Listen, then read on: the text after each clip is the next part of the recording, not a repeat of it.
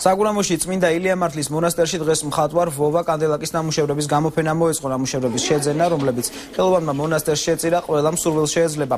ვოვა კანდელაკი 20 წელია ამერიკაში მოღვაწეობს და მისი ნამუშევრები მსოფლიოს წამყვან გალერეებშია გამოფენილი. მიმდინარეობს ჩემი გამოფენა. საგურამოში და ვაშინგტონში. საინტერესო კონტრასტია, არა? მართალი გითხრა საგორამო მირჩევნია ვაშინგტონში. გახარებული ვარ იმით, რომ დღეს შედგა გამოფენა. ბატონი ბობას გამოფენა აქ ჩვენთან მონასტერში.